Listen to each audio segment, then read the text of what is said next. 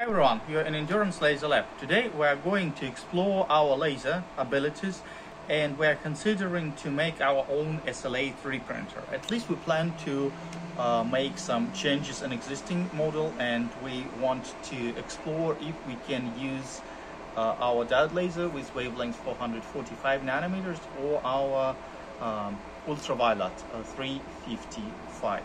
Okay, let me show you. Okay, so we have uh, resin. Uh, this this is black one Anycubic. We're not uh, promoting it. Uh, with a recommended wavelength 405 nanometers. That's uh, violet. That's not ultraviolet. That's violet. They say that it's UV, but actually this wavelength is deep violet. We have our uh, Galvo head with 355 and our diode laser. It's actually our laser pointer. Uh, 445 nanometers.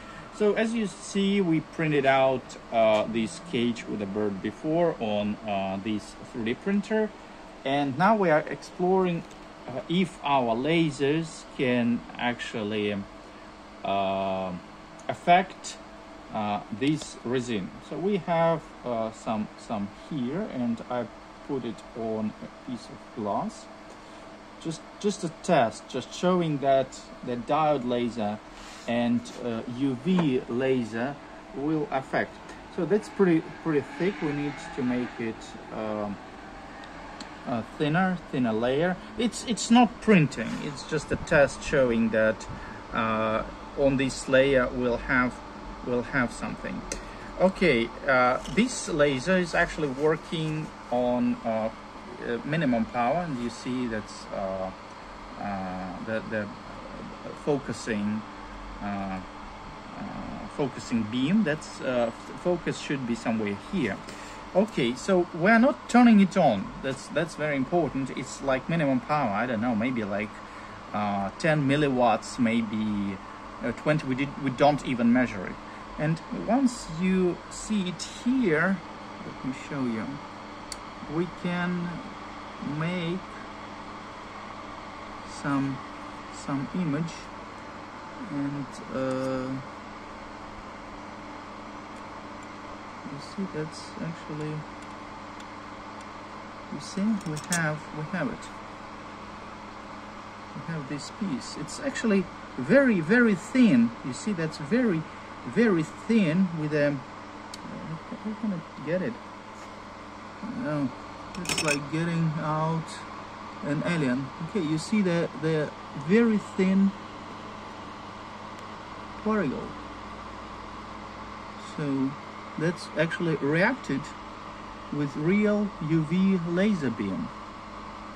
Right so we plan to use uh, this galvo for for uh, printing because it's very very thin. The, the laser beam qualities uh, TEM uh, double zero so it's it's completely and the uh, wavelength is 355 so we can get really really tiny spot. Okay we're done with that and let's uh, do the same experiment with the diode laser. So uh, here um, yeah let me uh, check the focus and the power.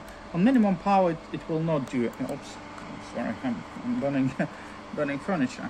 Okay and here I plan to go through the uh, through the resin and we'll see what we get. Okay, turn it on.